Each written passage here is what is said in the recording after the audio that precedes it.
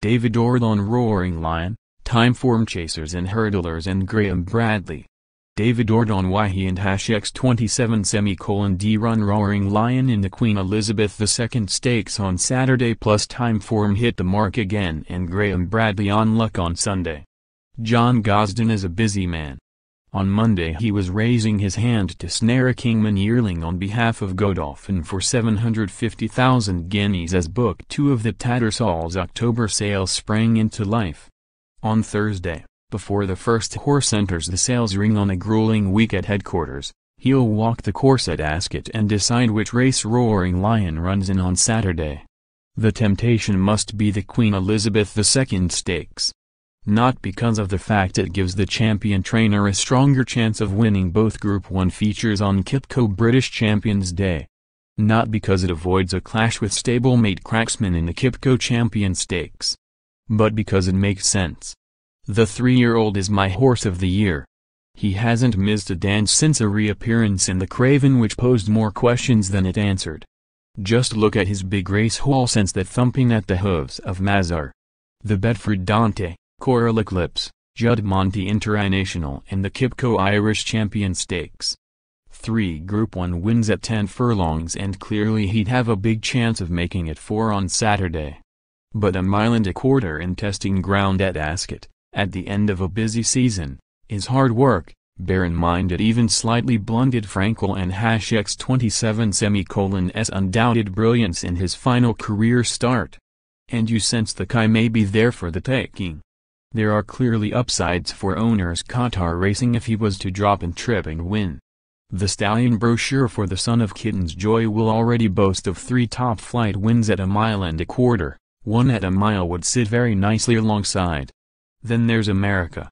If, as Gosden and David Redvers have indicated, a trip to Churchill Downs is on the agenda should their warrior emerge unscathed from the weekend, then he's less likely to leave his chance behind on the straight mile than trying to reel in his fresh stablemate when Cracksman boots for home two out in a champion. There's no official confirmation that Roaring Lion will retire at the end of the season, but the refreshing way he's been campaigned must make it very likely. What else is there left to win at 4? He ran well to be third in the Investec Derby but his trainer felt that run proved conclusively he doesn't stay a mile and a half. Having shown so bright at Sandown, York and Leopardstown this summer all that's up for grabs in 2019, in Britain and Ireland at least, are Tattersall's Gold Cup and Prince of Wales's. It would be wonderful to see him return again next season but you can completely understand given his campaign at 3 why they draw stumps. And that's why a switch of target on Saturday makes sense. A final chance to add a top-flight mile success to a glittering CV and potentially leave something in the tank for America. It's no penalty kick, how can it be with Laurens in there while Recoletos and Expert Eye appeal as the sorts to go well too? But they wouldn't cope with a fitting firing roaring lion. What price would he be non-runner slash no bet for the race? Seven fourths? He has the speed and he has the class for such a test. He and hash X27 semicolon DB just about last off the bridle in the guy, win, lose or draw, and has the turn of foot to quickly put it to bed if anywhere near his A-game. Cracksman would struggle to cope with his younger neighbor on good ground or quicker in the champion but after the rain lashed down in Berkshire on Monday, the barometer at Clarehaven must have spun away from that particular clash of the generations. Last weekend's fixture at Chepstow traditionally marks the start of the jump season proper, and as ever it was preceded by the publication of Timeform's Chasers and Hurdlers Annual. It's one of the weightier, and more expensive, of the racing tomes but packs a significant punch with several hard-hitting essays. It's a wonderful recap of the previous campaign while offering pointers for the new one, Great field at 25-1 for the champion Chase Anyone, but the talking points it provokes remain its core strength. The piece on Apple's Jade includes a renewed plea for the introduction of 48-hour declarations for all jumps racing. Altior is crowned Timeform Horse of the Year for the second time. There's a fascinating debate over which was the greatest Gold Cup while reflecting on Native River's triumph in March. Then there's Cue Card and the question of when a top jumper should be retired. Think back to last autumn and his fall in the Charlie Hall chase at Wetherby, Many believed that was the time for him to exit stage left. He didn't and, while he wasn't to win again, his duel down the Ascot straight with waiting patiently proved one of the races of the season. The curtain eventually came down after pulling up in the Ryanair chase and failing to sparkle at home before Aintree. Timeform wrote, there was hardly any stage in Cue Card's career when he wasn't making headlines with some big race success or other, he won nine Grade 1s, and his longevity undoubtedly contributed to him becoming one of the most popular racehorses of recent times. In one sense, he had nothing more to prove. That, in itself, though, was no reason to retire him. So long as a jumper is fit and well, and capable of winning races, owners will generally keep racing them, which they are fully entitled to do.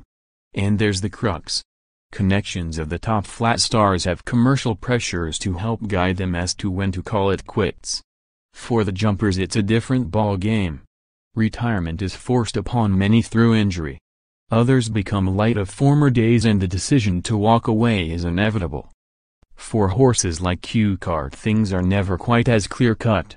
In the end he went into retirement a healthy and happy horse and while his final campaign may not have included another notable win, it did feature a notable performance. He was throughout his career a credit to connections. The excellent luck on Sunday made a welcome return to our screens on Sunday morning and offered up an intriguing guest in Graham Bradley. You remember him? One of the best jockeys of his generation right? As stylish and composed a rider as you'd see in the saddle, a man who honed his skills on the likes of Bregawn and Wayward Lad, who provided moments of pure magic aboard Morley Street. That Graham Bradley. It's also the same one who in 2002 was warned off for eight years by the Jockey Club, later reduced to five, for passing on inside information to a known criminal. The main problem I've got at the moment is my reputation. I need to rebuild people's trust and regain my reputation, was his opening gambit of a compelling, if surprisingly reserved, interview. I want to apologize for what I've done over the last few years. I was a very successful jockey who rode a lot of big winners and I have a lot of friends in racing but I created some stupid, stupid mistakes.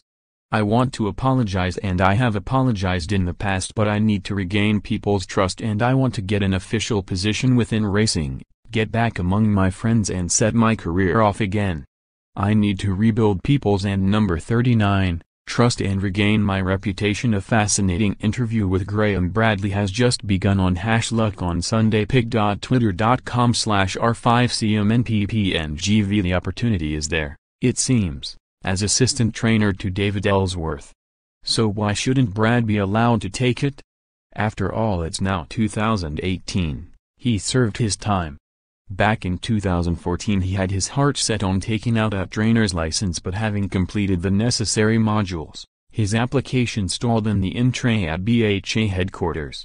In the October of that year, he and Brendan Powell were cleared of a charge that Bradley had actually trained horses under Powell's name. The BHA were left disappointed by the ruling but Bradley withdrew his application for a training license the following September, citing frustrations by the length of time it was taking and the loss of premises he planned to train from. The governing body had written to him indicating the authority did not think he was a suitable person to hold a license. So what now?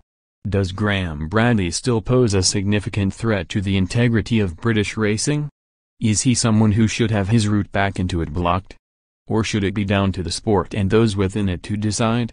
If a trainer like Elsworth wishes to employ him and the owners are happy to have him playing a pivotal role in the day-to-day -day running of the yard, isn't it time to allow him back?